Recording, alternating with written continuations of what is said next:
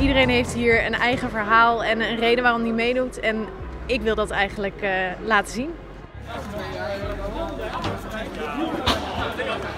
Vanaf morgen natuurlijk uh, de grote start. Vanaf uh, rond een uur of één gaan we vertrekken en dan gaan we live slag doen.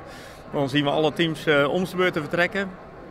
Ja, superleuk. Uh, we zijn nu aan het verzamelen natuurlijk. En straks gaan we in kolommen met uh, de videoteams. Eén uh, videoteam gaat naar Hamburg en het andere gaat naar, naar Parijs. En wat mag jij gaan doen in Parijs?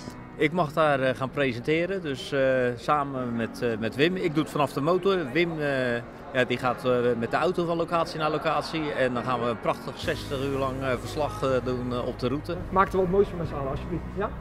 Top. Yo. Foto!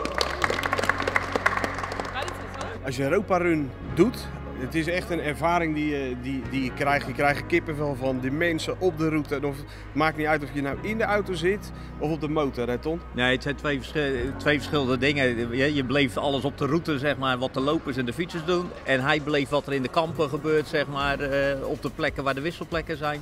Ja, het is uh, allemaal uh, prachtig om te zien. Heb je al vaker meegedaan met dit videoteam? Het is de eerste keer, dus uh, ik ben heel benieuwd. Sowieso mijn eerste keer in Europa Run en ook dus uh, in het videoteam. Uh, dus alles is nieuw. Spannend. Waar ga jij heen straks?